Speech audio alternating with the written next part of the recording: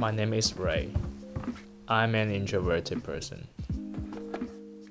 Eager to make friends, but too afraid to talk to people. Hey Ray. I wish I could be active, but I can't.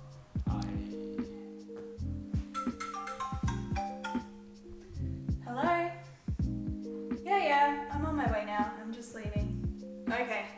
See you soon. I want to go out with friends, but I'm never brave enough to ask. I feel lonely. My life is not happy. Then I started to play video games.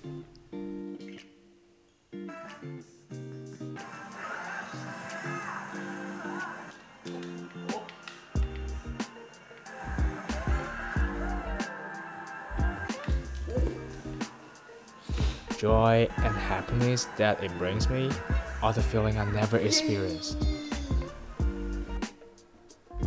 I talk to friends online when playing game. I never felt so connected with them. I enjoy hanging out with friends online because I'm comfortable with it. Yeah, it was a good game. Yeah, yeah, yeah. Yeah, see you next time. But one day, the happiness is taken away from my life.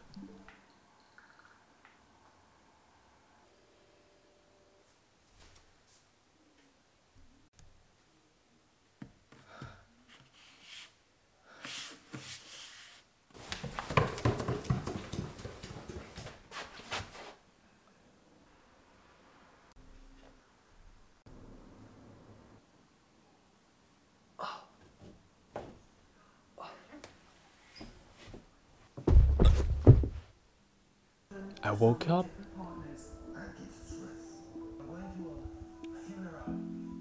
There's nothing in my mind. I'm emotionless. I'm still doing stuff I usually do. But they never make me happy. I'm desperate. I lost it happiness.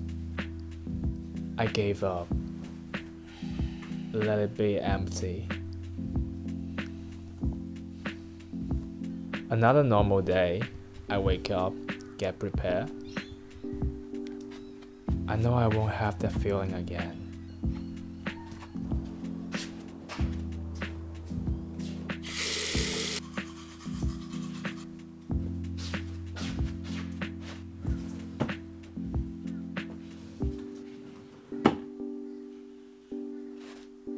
Then I found something. It's a figure. It belongs to my memory. It brought me something before. What is it? What is the feeling that warmed up my heart? Oh, it's happiness.